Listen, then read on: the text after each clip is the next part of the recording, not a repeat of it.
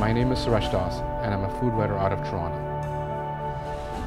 I was born in Colombo, Sri Lanka, and uh, I grew up, uh, I'd say, for the first four or five years in Colombo. I left the country with my parents when I was 12 to come to Canada, and we've been in Canada since. And a lot of things have happened in Sri Lanka over the last 25, 30 years. The country has come out of a wrecking tsunami that hit the coast about 11 years ago. There was also a civil war that lasted, you know, nearly 30 years, and that civil war tore this country apart from north to south. I mean, you know, uh, my family lost family members uh, in, in this war, and it really has created a perspective of this country that is unfair. But after 25 years of war, everyone just got so sick of it and tired of it. People were just ready to move on and, and just live again. War ended about four years ago, and the country's on an upswing now. You see communities working together. You see people rebuilding their lives and other people just investing in the economy. And you see also a lot of people that moved away from Sri Lanka moving back trying to you know come back and find some some footing again in the country to kind of rediscover the place that they left because they had no choice. The first few days in Colombo was really a chance to reconnect with culture and with food. I really wanted to taste things and, and see if they tasted the same way from my memories as a, as a kid here.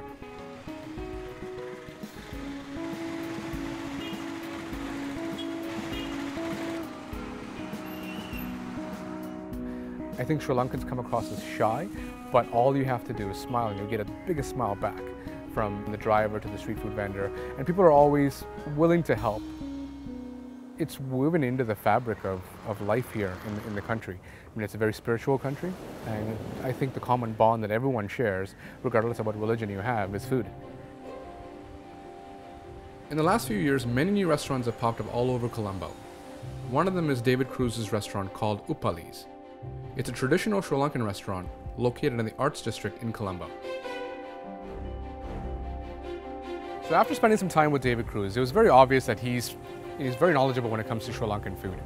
To research for Upali's, he ate his way through the country and he kind of gave me a sense of how different the food can be from region to region within such a small country.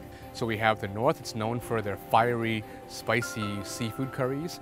We have the south, which is known for growing some of the spices that is used predominantly throughout the country. And really, Sri Lankan food has a reputation for being the spiciest food in the world. So the real reason for going to Upali's was to taste their signature item, which is the fish head curry. David gets his snapper from a local fisherman that brings a batch in every day. The snapper is butchered by the restaurant's butcher. A piece of the head is cut right off, and then it's laid to rest while the mise en place takes place. A cook then preps a variety of spices and vegetables into a blender and purees it to get a sauce. The sauce is then coated onto the fish head curry and cooked gently for about 20 minutes. So the fish head curry is presented to you as you're sitting at the table in this large bowl. It's a, it's, it's, it's a curry that's meant to be shared.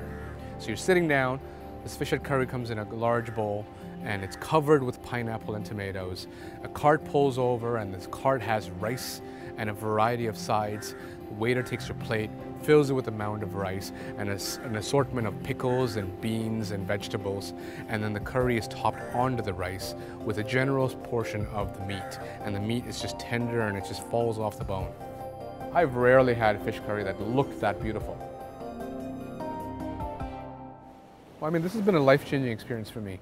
Uh, for the chance to finally come back to a country that I've missed for so long, trying to figure out, are those places still around, the places that you remember as a kid? Is that church still there? Is that street look the same? Um, and also, I think it's really hard for me to count the reasons as to why I should go back to Canada. I mean, this place has everything that I want. It's got wonderful food, some of the nicest people that I've ever met, and fruits and the vegetables and the beaches and the, and the water and just being outdoors.